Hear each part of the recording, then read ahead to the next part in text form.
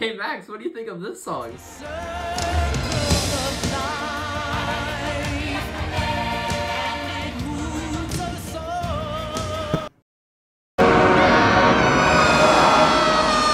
Oh, you killed him.